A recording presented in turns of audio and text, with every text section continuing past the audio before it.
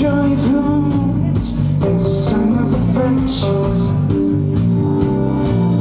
Crusaded love, but the morning fades away.